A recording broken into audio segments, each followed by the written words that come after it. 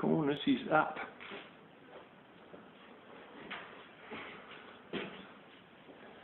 You get cornice adhesive, which is like a um, bit like uh, base coat, but a lot, lot more glue. And uh, yeah, we got it up. We got little Tek screws just holding it up to stop it falling. And you got to hold up there and stand there with three people for a few minutes. And this last one we actually done with two people because brother-in-law had places to go. And uh, now just sweep the floor. So pretty reasonable sweep. And uh, now we're going to look at painting the other room inside the house that was shown the plaster of a little while back. Uh, probably masking all this up, or you know, drop sheet or part mask and rest drop sheet or whatever, because we don't want any paint on this. This is most likely going to be oiled, almost certainly. Um, and after we mask that up, then we go paint this ceiling. And uh, yeah, we sort of probably should be doing whatever else we can just to let this dry. The stupid packet doesn't tell you a drying time. It tells you it's workable for 30 minutes, which is a pretty big exaggeration because I reckon it's only workable for about 15 minutes, but whatever. But it doesn't tell you how long it's got to dry before you paint over it or do anything. Not that there's that much, but sometimes like you do your corner with it and any gaps, which we've done the gap on the ceiling, but not necessarily the gaps there because of these board bow and blah blah blah. But uh, some of them bow a bit. But that's just the the building moving and the stumps moving. There's, there's got to be a wood. There's probably going to be like a chimney going like right through here anyway. So you won't, unless you're hanging over a wood stove, you probably won't even be seeing those gaps. But whatever, we're going to have wallpaper on this, so that might help hide a few things. But uh, okay, I went and sanded the other room. It appears brother-in-law hasn't done the final coat. I think he put up the cornice, and that's what he was doing in there. I thought he was doing more plastering, but we can't paint there, unfortunately so there's a bit of a dud. So he's going to have to do the final coat on that or whatever. And uh, they'll have to be resanded and repainted so that drags that out before that's going to get painted again. It might be too good for the schedule, but anyways, um, we've got to yeah, we've got to go and mask all this up.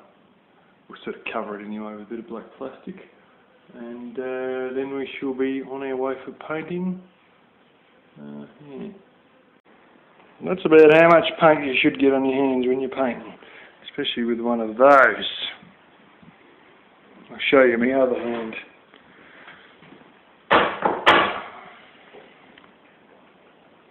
Not much at all. This is what we have been doing. Painting the ceiling. There's a bit of packing tape there because we didn't have any masking tape. And she all collapsed for the second time. anyway, that's the second coat there. I didn't show you guys the first coat.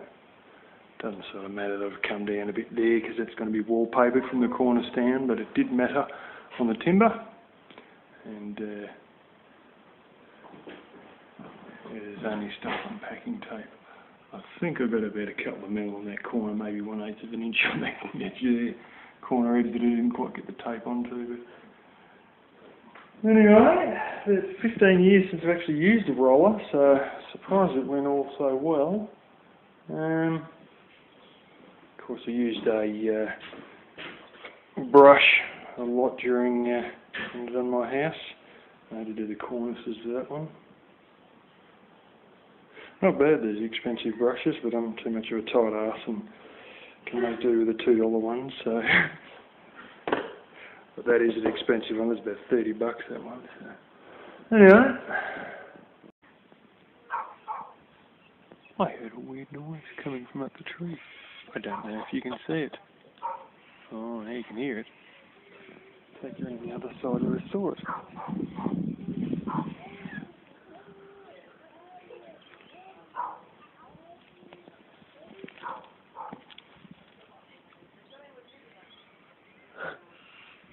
And then road, burp, burp, burp. sit up the tree. Peacocks also go up the tree, and they get their chicks up there within a couple of weeks or something. But here, the chicks go up the tree, and that's where the chicks stay. Sometimes, if they feel like it. So do you notice if you don't stick them in coops and you've got plenty of trees, and they have a nice natural little life, they sometimes decide that uh, sitting up the tree isn't a stupid idea. I spy some little imposters. Imposters.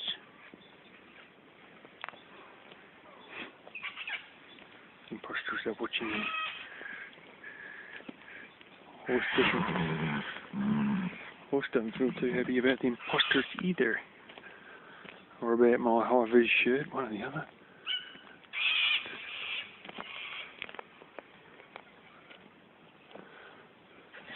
What's the matter, horse, eh?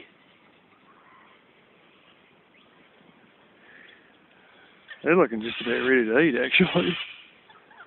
Yummy. believe they're a border, uh, border Leicester Merino cross. Sort of look pretty much like that. That's apparently what they are. These are the ones that they sell as fat lambs cross between your meat breed from Northern England and your Australian breed of wool sheep.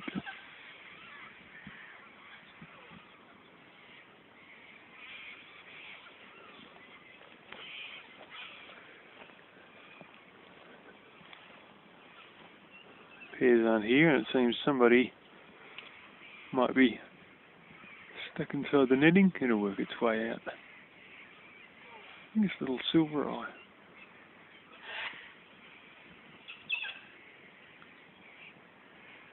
Here comes a young hoss. Here we go. What's the matter, buddy? Hey? I think it's just the blooming shirt upsets him. Ah, poor little silver eye. It'll work its way out.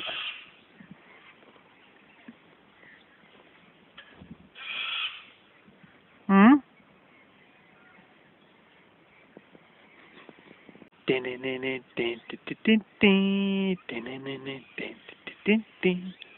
Okay, enough of that gay stuff. Um, I wanted to show you the rainwater system on this. As you can see, we've got a roof there. This is just the barn I'm sleeping in. This has more become just a big storage area for junk. And there's a guttering for it straight into that. Not much as you can see. There's your overflow. Somewhere I should be able to find uh, terribly sure, but could be up against the actual house side, uh, the barn side rather there's a tap anyway. It's plumbing through. Yeah, quite possibly that line there. Look at my foot on. It's uh, plumbed through into that tap there. And it sort of runs alright. I mean, it's pretty full because it hasn't been used for so long. But um, I think that's me out water. Don't know exactly where it goes to, and I suggest my incoming line may have a bit of a leak with all the algae on the flaming wall.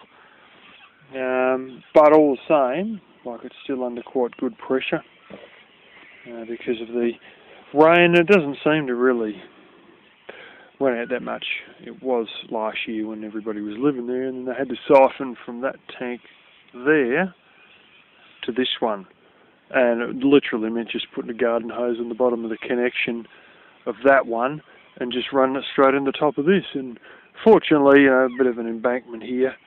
Um, you know, that one was higher and just yeah, we didn't even siphon it; just come down over the pure fact that it's probably about four foot taller.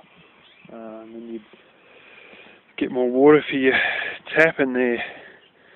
Yeah. Horsey.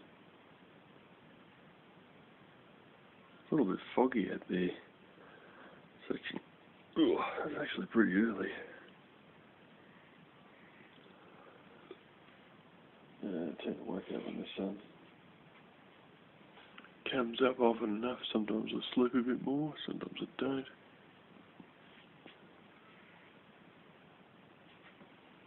Hmm. The other horse is just around the corner. Where she is. Mansion of Mystery. That's what I tell all the girls my place is called, the Mansion of Mystery. They all look at me like that. Uh-huh. Okay, we've finished the second coat. We've vacuumed most of the floor and we've been putting in a bit of bit more expansion foam to fill the gaps. And uh, we are about to sock it to it with the big belt sander.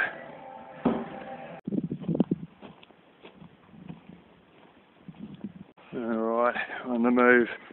It's about 10 minutes. My sister reckons it's going to rain, so I had to get all my washing off the line. Um, yeah, got to get tools inside. What we done today was uh, stuff was go and put a bit of liquid nails in between the gaps. Um, I done the final coat on the ceiling. Then put some liquid. Uh, oh, then I sanded the floor. Then we put liquid nails to fill the gaps so air wouldn't come up through the floor. Then we put a layer of Estapol, which is a oil modified polyurethane and uh, still got liquid nails mixed with turfs. So it's of going tacky on your hands. So uh, anyway i got to put some tools away. All this rain comes out on that side. They're trying to cover where they smashed the chimney in today. The roof is just got to be whole now brother-in-law was doing that while I was sanding the floor. And now we've got to hurry up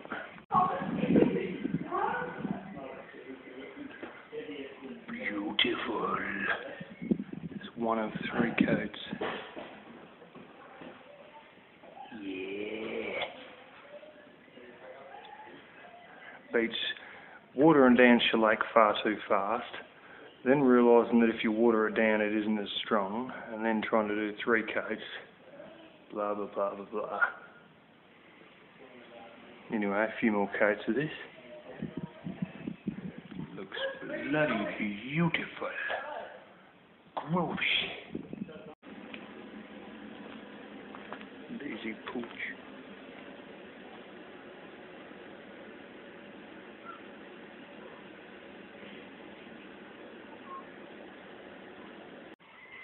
Pretty certain it's a chook from last year. It's the oldest one of the lot anyway. This is the same coop I had last year. Um,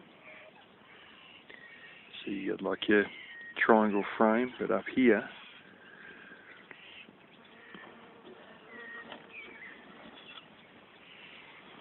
your actual little coop coop.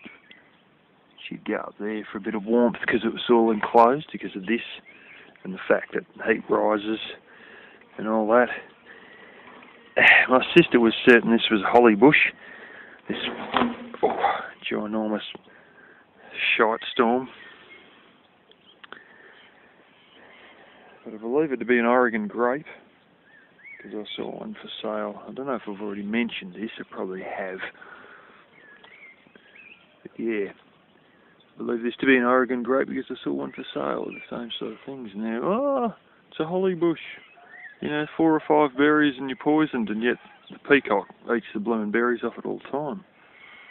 There's one of them. Another peacock down near the Plumsmore. I have to look it up and see if you can eat Oregon grapes, and I might be going home with a whole bunch full of Oregon grapes. They're ripe now, but they're starting to turn. They're starting to get too ripe. Bloody big plant, anyway.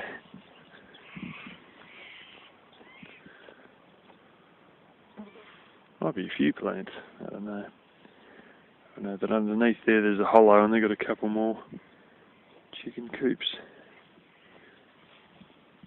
Yeah, some of them are um, saggy and the others are still alright. I think it's that chook there, the grass seed inside, we had to get it out. Funny. Horse walking off. I noticed the peacock comes up to the horse shit and starts pecking in the horse shit, so I don't know if there's something that's uh, undigested grains in it or bugs going through it or what, but this, we have a phenomenal amount of bugs here, like turn the light on at night and you get these big bugs that are like, holy smoke, they're like three quarters of an inch long, and you get small ones that are just through the, the chook there before that are like tiny little ones. Almost look like rat shit from a distance because they're all black. Yeah. Gives me ideas of experiments, and uh, may end up getting a chook when we get back. We'll see. There's the tree where the chooks usually perch. We don't realise something. There's big piles of chook shit all over the blooming lower branches. Groovy. Not a little bit on the ground. Another tree you want to be under for shade. Well, this is your government food rations during the Greater Depression This is all you're going to get. Now, this is potato starch and water. This was the um, wallpaper mix, and uh, bugs got into it just because they're all through the damn house, attracted by the lights at night, and we have heaps of bugs here. And uh, as I've already said, and uh, this was supposed to be used for wallpaper a few days ago, but she's a little bit beyond it, and the red spots may indicate it's actually getting a little bit mouldy. But anyway, now it's chook food. All I'm to do is just go.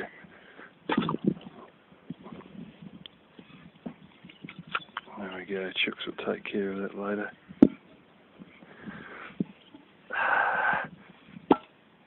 Yummy!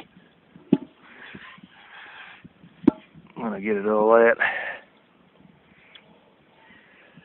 Now, it's just potato starch and water, so it's effectively like potato flour mixed with water. And if you were to actually bake this, it'd be not a great deal different from uh, mashed potato, I suppose. Yummy! I know what the bubble function is, but it's on. Mum's been convinced to get an automatic washing machine since she's seen this. When this thing spins out, I'm not joking, the veranda on the other side of the house starts vibrating. so she yeah, definitely uh, shakes things up a bit. But, uh, this is the sort of stuff that I can't expect to have living off grid. Not with the small system I've got anyway. If you get a big monster system, if you're going to spend thirty thousand dollars plus on a solar system, yeah, you can run this sort of stuff directly. But uh, I can't believe it. It's got such a digital screen. A few of these mushrooms coming up that are getting eaten pretty quick by bugs. Put another coat of Estapol on that floor, and now I've got to remove that and the entire flue kit. And find a bit of corrugated iron to replace it. So the old impact driver, and uh, we go. That's probably the longest antenna I've ever seen on a flipping grasshopper. He's absolutely tiny. He's probably only a quarter inch long. He's antenna about an inch long. Well, there we are. This is badly hot. I mean, this is about 60 degrees Celsius. It's hot enough to just about flame and cook eggs up here. I'm not joking. It starts to burn your hands if you touch it for any more than about three quarters of a second. It's really that bad. Um, yeah, got her out. They had another sheet overlapping the top, so the original sheet and then the flashing and then another sheet overlapping the flashing. And that sheet that was overlapping the flashing is now your under sheet there. And you can see where it goes rusty. And then you've got another inch or two. That's also the same sheet that you can see now covering the hole. because of course you've got to have your first sheet here on the top. And then any water flows down it's only ever going to drop downwards so you've got to put it underneath because if you put it above then it would just catch in the top of that sheet on the end of that sheet and then just drip inside um, so yeah I uh, had to get the brother-in-law inside to try and push up the batten, but I had enough length hanging out the end as I was pushing it up that I actually managed to jump the whole lot myself just by pushing down a bit as I was pushing up and jumped it over. So he actually didn't end up doing anything. And then I got the ones in this batten, but this sheet, well, probably comes about here or something. And uh, yeah, of course, it's attached to the batten there, and it had to be, and those ones there. And uh, I've got new screw, one new screw there and a few new screws in the top. One of the original ones lost its seal. I've probably put in more than was originally there. Um, yeah, anyway, I am bloody bacon, so I've got to get off here and I might show you inside. Oh, holy smoke. That is badly, badly hot up there. That was at least 65 degrees. I just about burned my hands touching that. Yeah, there we go. There's your new one. And you can see there to overlap the batten. Um, and yeah, it's actually longer than I thought. That's about a foot and a half past the batten. I thought it was only going to be like six inches or something. But yeah, so anyway, there's the old wood heater there with the creosote. Creosote Deluxe. I'm going to get some water and pour it on the roof and show you steam coming off the roof. It is that hot up there. I reckon I can do it. There's a little bit of creosote. It's a little guard. Here's your thing. Um, this is your double walled one. When the sun plays ball. There you go, double walled. Um, and yeah, it comes through to your little witch's hat and all you've got is a strip of stainless around the side there. And often these are stainless. Some of these don't even have this guard around the side. There is no chicken wire, uh, not chicken wire, like fly screen mesh, brass fly screen mesh or anything like that that you have as a spark arrestor in the States. We we don't have those. In fact, absolutely none of the flues have them, whether you're using propane or or wood heating. But uh, I might wash my hands and I'll pour a little bit of water on the roof and you'll see the steam coming straight off and this gives you an idea of really how hot it is.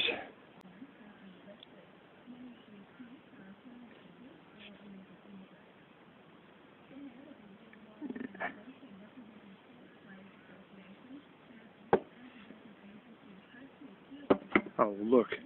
You see it drying off the roof.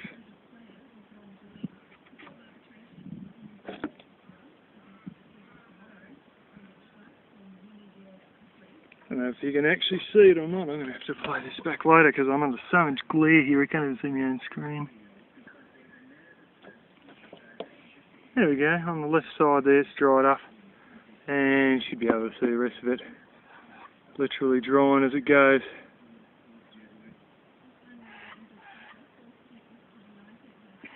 if you can see it. I can see a little bit of possibly steam.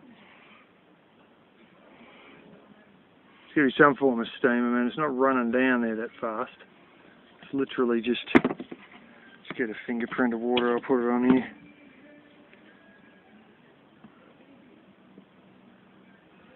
And away it goes.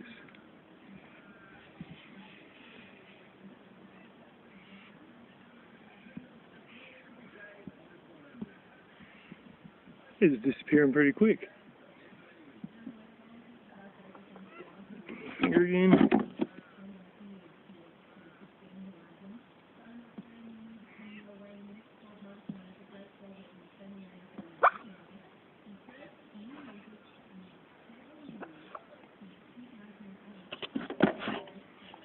Yeah, keep over.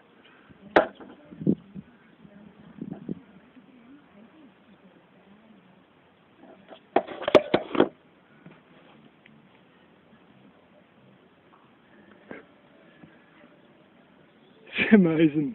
Just seeing it spinning like that straight away.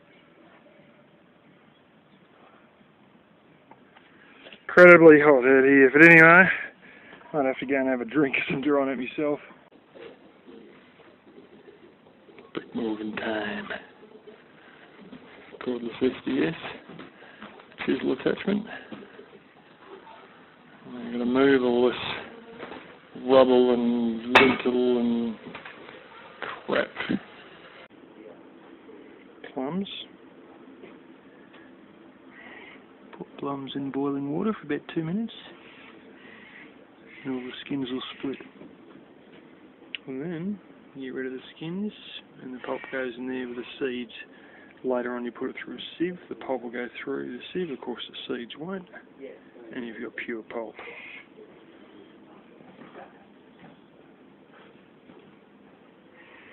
And original product. I've done around 85% of dragging this out.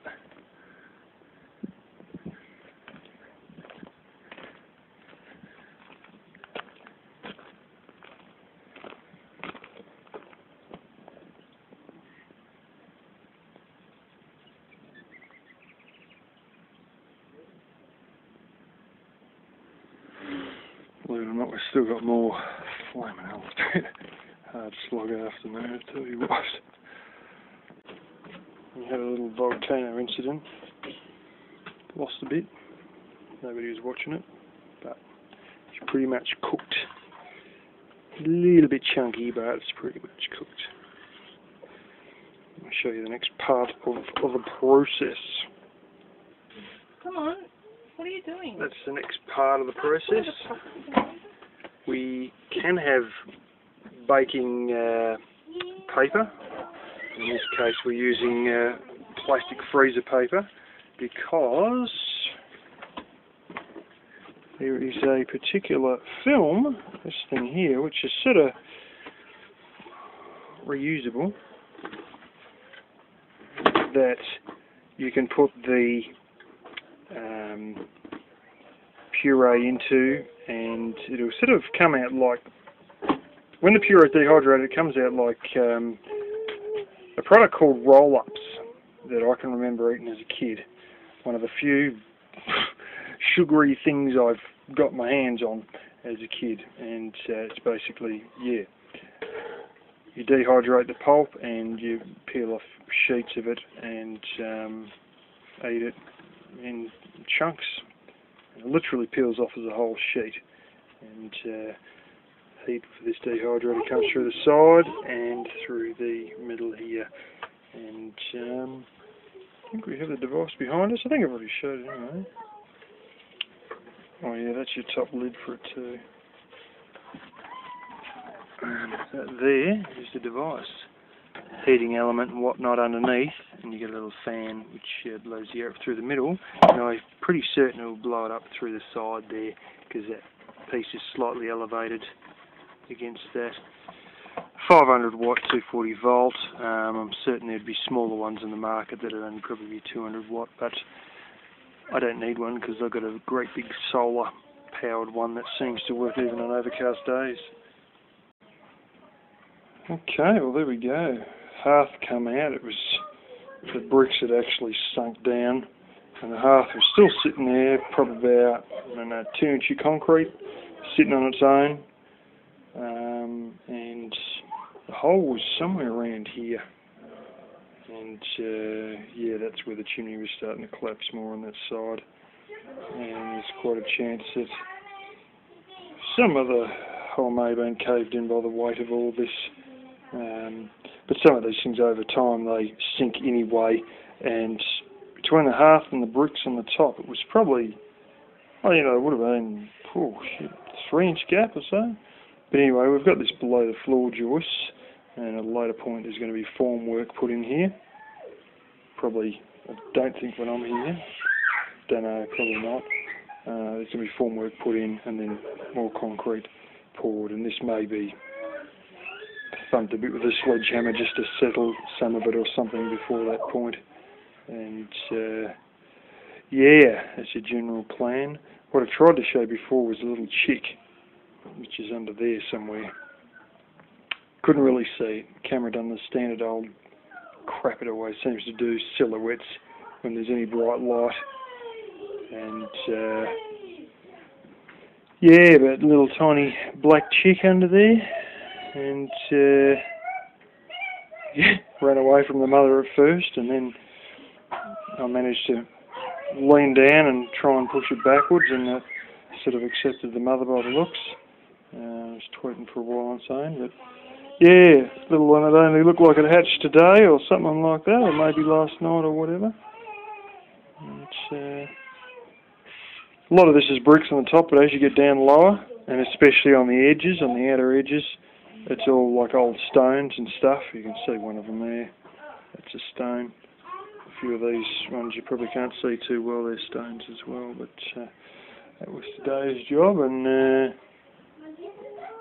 well, look, ah, see a little bit of light there. That's uh, where the old hole was. Just a few roof sheets tacked on there, and uh, as a temporary measure until well, it all gets opened up and a flue gets put through, which um, oh, they've got an individual flue kit for this one, a new flue kit. The flue I took down today is for the um, wood stove in the kitchen. So yeah. This is how we do it. Dun, dun, dun. A little bit of this is a bit lumpy. We could have put it in a Bellini, which is like one of those demo cook or whatever the heck it's called, uh, which sort of blends it as well as cooks it. But we boiled it and we didn't boil it enough because it sort of blew over, so it may be slightly lumpier, which just means it's not a consistent, perfect level thing. And of course, it's not going to be like that if we're sort of putting it on by hand anyway. Um, yeah, we go. This is the second layer going down now. And bang. Put them there. Lean it over because they all stack into each other. Stack another one on. And continue on. I believe this one is the one that come with the device. Um, it's actually part of the dealio. Here's another one that come with it. This is mesh, but if it's gonna fall through that, it's probably too fine anyway, and you should be using something like that because the mesh that is built into it is reasonably fine already. Um, yeah. Probably shouldn't be showing this. This is the neighbours. It's a Yanmar, Philippine made. I know they make a lot of diesel stuff. Some sort of big flywheel, big teeth cog with its own alternator. Some sort of a radiator. Speed adjustment. Direct injection. I don't know if it is actually a diesel or what. May indeed be a diesel. Yeah, it's a diesel. Hmm. There we go, she's running. Ezidri Snack Maker FD 500s. Sit on medium.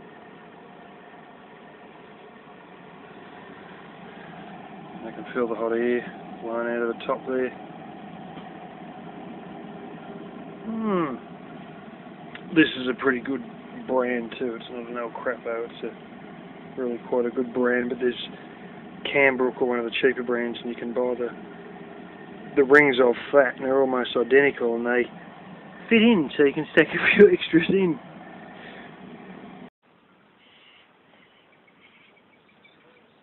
Here's old mama hen. Shouldn't annoy you too much. Um, unfortunately, we can't see it, but the chick has been and about walking through the grass. Day old chick following her around.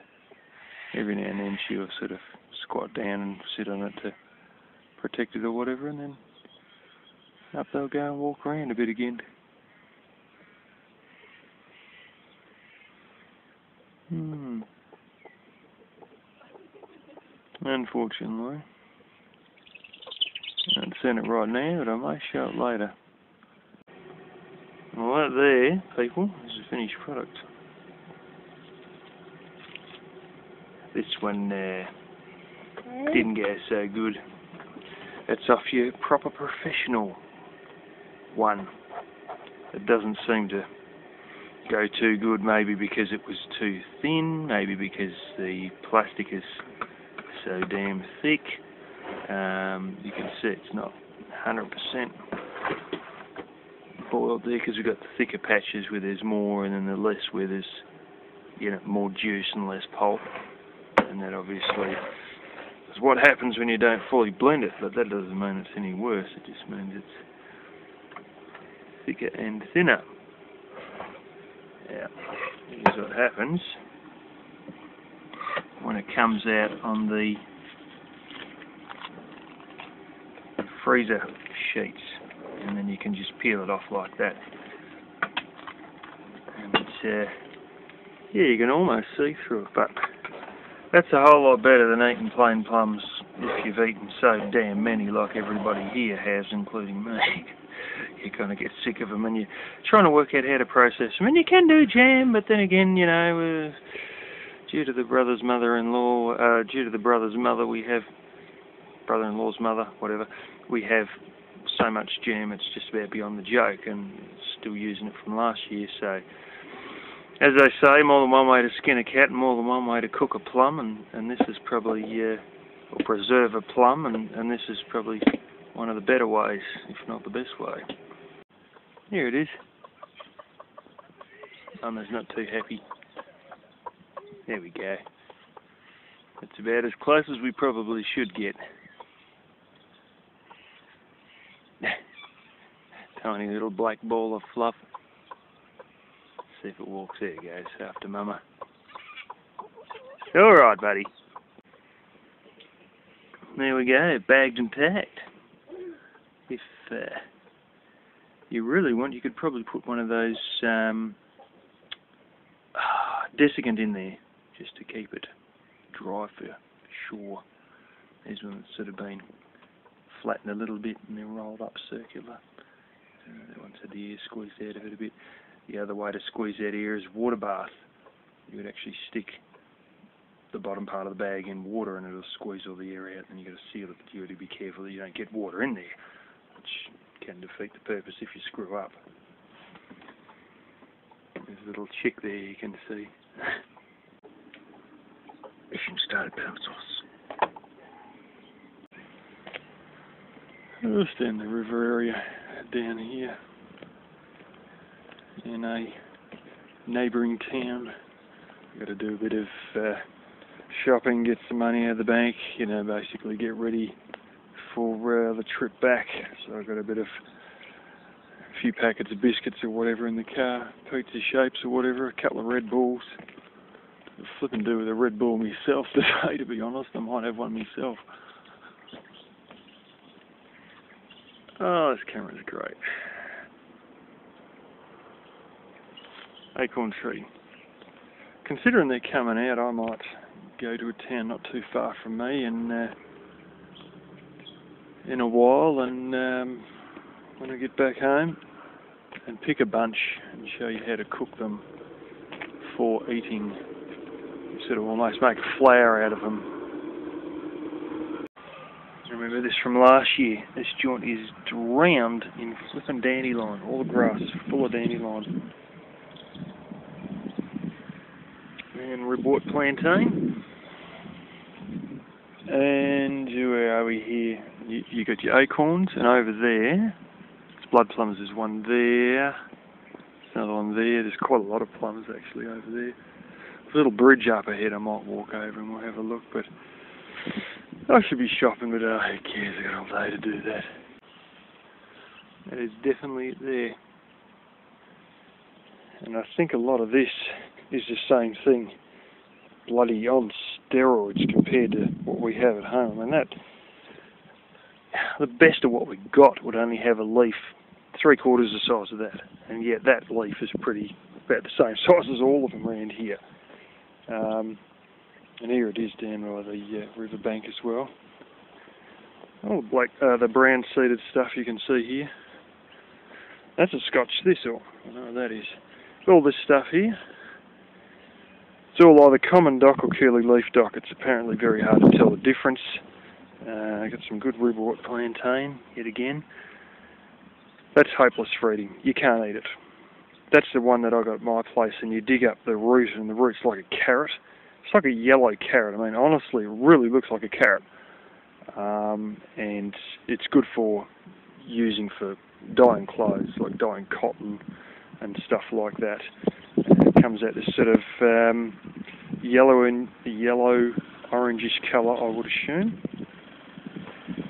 But like I look at my sister's place, and as far as I'm concerned, they've got a severe problem with it. They're not worried about it, but like I'd be screaming if it was my place because they've got a lot of this against their river as well, and they've got a fair bit of it even amongst the, the grass. And it's one of those things where you spray it, it'll kill the top.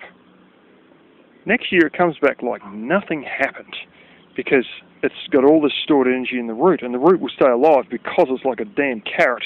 And then it, up you go again, and you you're back to uh, square one. And if I'm not mistaken, there is broadleaf plantain. A certain person from New York showed me a bit of this uh, in on Dandenong Mountain in Melbourne, in the capital, state capital. It was nothing like this. This stuff looks like it's absolutely on drugs. The leaves they had, they were getting were about this big. That is three times the size. And I thought there was a broadleaf plantain down here, and I'm obviously right. That one is edible, quite edible. Um, I don't know how it tastes. Your ribwort plantain, that's edible. It tastes like shit. It's also good to have clean leaves, and if you get a root, uh, wound, sort of roll the clean leaves to sort of let the sap come out or whatever, or just basically put it on the wound and then put a bandage over the top of it. And apparently, it's um, got antibacterial properties, and wherever it is, you won't get bacteria, uh, which is good for you know packing cuts and whatnot. And I have actually done that myself previously, and uh, yeah, uh, everybody else sees nothing, and I see a whole cornucopia of usable stuff. Dandelion, you know, broadleaf plantain. Dock, uh, ribwort plantain, you know, acorns back there, plums over there, water hens. You can eat them if you want. I think it's illegal, but pretty certain it's illegal. But uh, probably tastes like chicken. Probably tastes like wild duck, which means tastes like shit. But but uh, there's another option there. As you get higher north, you get a lot of different things uh, growing in the water as well. And there's a, a certain rivers right up north where they have uh, what they call duck potatoes, uh, and also taro, is it? One of them ones. And they infest all the rivers up north. Over in Asia, they're eating them like they're going out of fashion, and we're declaring them as weeds. we're, we're too English still to eat them, you know what I'm saying? Once again, I'm sure some of my European viewers will know what these are. I think I've seen them before. Don't know what they're called. Interesting thing about this joint is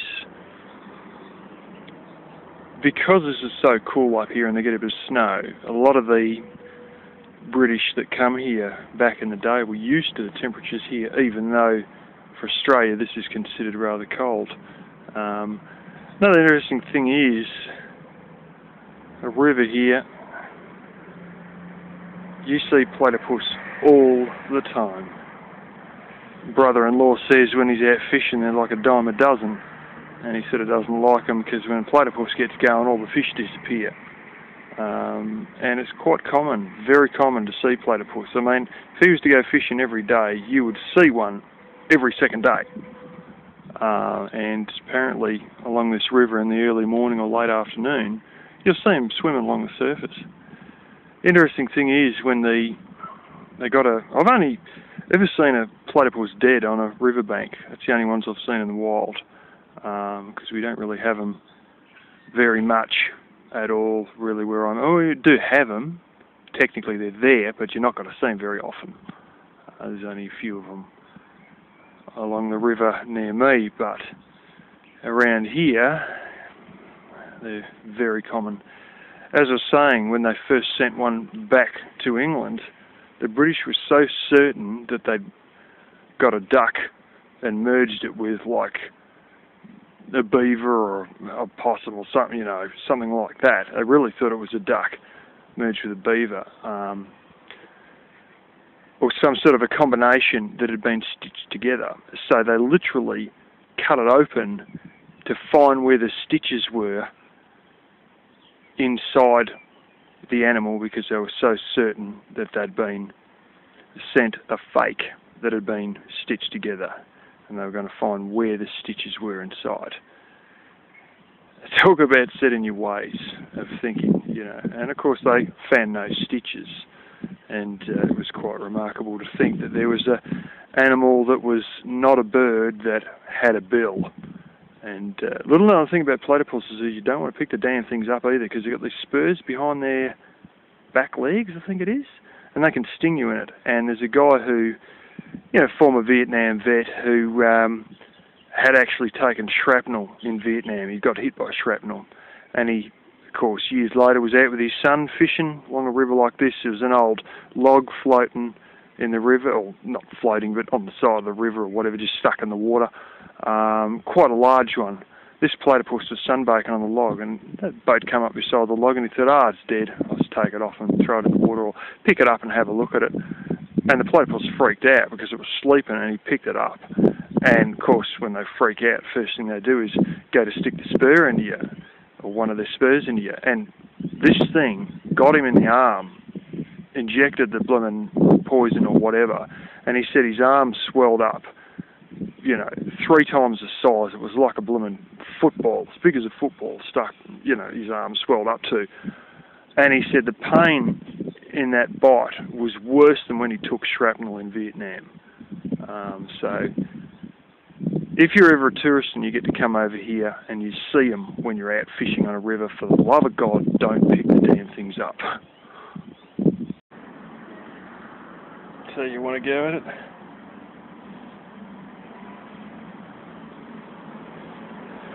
Do your shopping and drive off in the tractor interesting story behind this one. There's a street in this town called Maybe Street. When they first come to survey this place, it was just sort of a bit ramshackle, a bit temporarily set up. The surveyor wrote in the streets that he knew of. There was another street that sort of had houses, but they weren't exactly well arranged and it was a bit all spread out. So he thought, maybe it's a street, maybe it's not. So he just wrote in maybe street because he wasn't really sure if it was a proper street because of the lack of houses, if it was going to last, um, you know, and it was only a rough dirt track. So he wrote it in as maybe street. And back at the official office, they drew it in officially and called it maybe street. Weird things happen in Australia like that. Uh, like when we get a snake, we don't name the snake after who found it.